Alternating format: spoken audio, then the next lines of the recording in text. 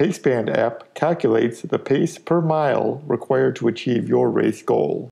Set the distance and desired finish time. On the Evaluate screen, you can see the target time for every mile.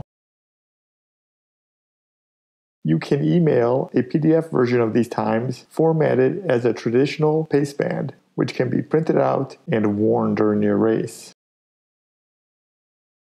Race mode provides a digital take on the traditional paceband.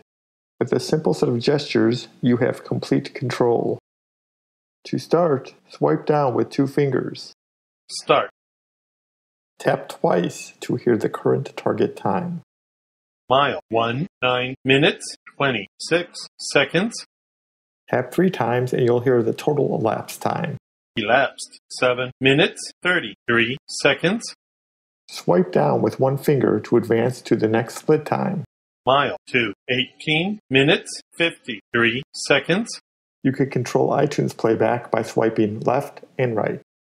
The Paceband app for iPhone. Plan your race, race your plan.